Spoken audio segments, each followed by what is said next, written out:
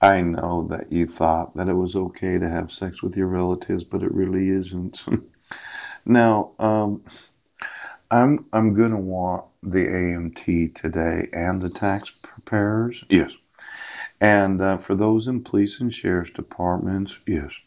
Uh, the defrauder, the fraud feesor, yeah. hmm You defrauded me of my rights and you gave custody of my sons to my wife, right? And you committed tax fraud. So uh, let's look at some degradation, okay?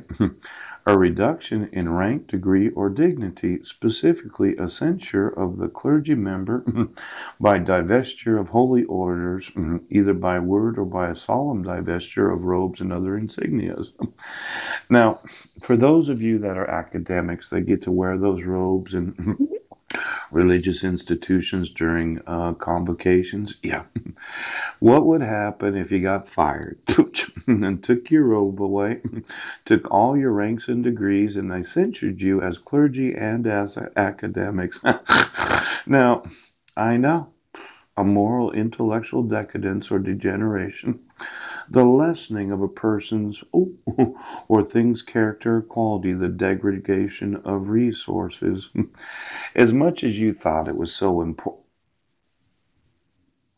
Well, I'm thinking of disrobing a large number of academics and Christian institutions that have any knowledge of the fraud of having me put in jail for the crimes that I did not commit because of their refusal, yes, to well, you're going to lose your robes today, okay? now, of all of those that are oaths, which of them get to wear robes? There's uh, judges get to wear robes. Yeah. There's justices get to wear robes. Yes.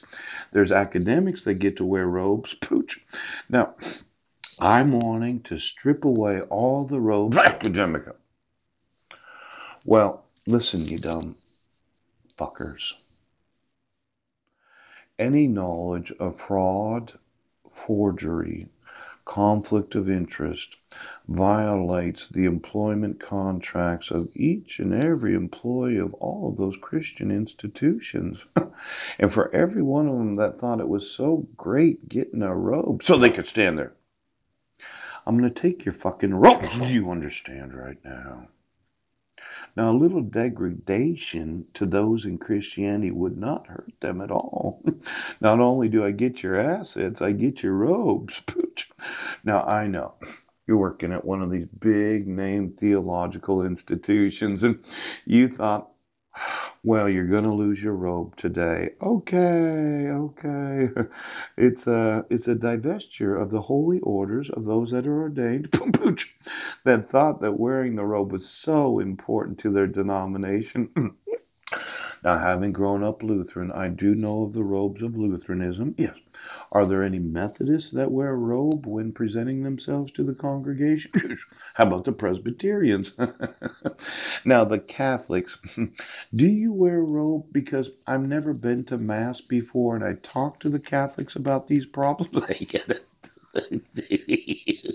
I'm, I'm good. Well, I feel like when when the religion, yes, does not obligate law enforcement to, enf- to enforce actual fraud and forgery laws, yes, parenting rights, victims' rights and resources, because you're just not going to pay. I'm going to start stripping away all the robes of all of those that are legally. well, you know, let's say you got removed from your actual I know you thought that robe was important. Didn't you think it was important? I think that it's divesting of the holy orders. well, I think that you're going to lose your robe. Now, to uh, censure a clergy member by divestiture of holy orders, either by word or by solemn divestiture of robes or other insignias. How many of those in Christianity mm-hmm, can legally wear the robe while meeting in a convocation of those that address the student body? Yes, either in graduations, yes, speeches, or any of them right now because I'm going to take your robes. I will sue every institution of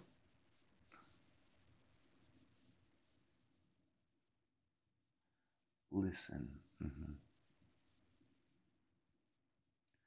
I will strip Christianity of all their robes.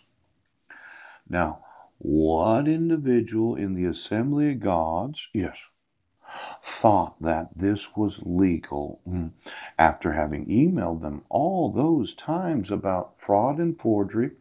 What individual at the head of each of the major denominations of Christianity think that it's okay to take a citizen's sons right now? Completely remove the robes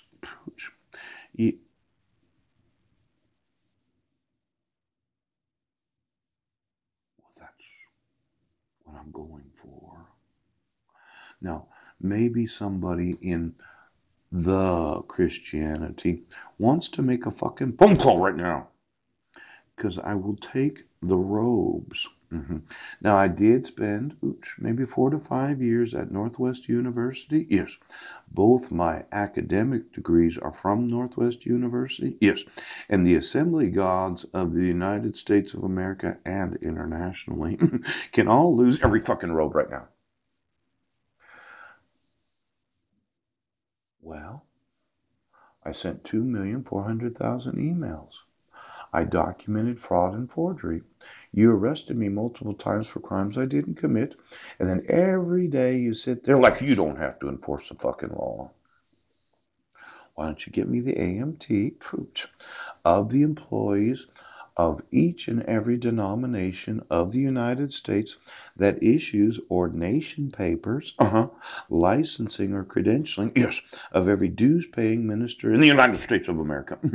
because I will argue, do you understand? I will remove every fucking I will divest you of all your credentials. You will not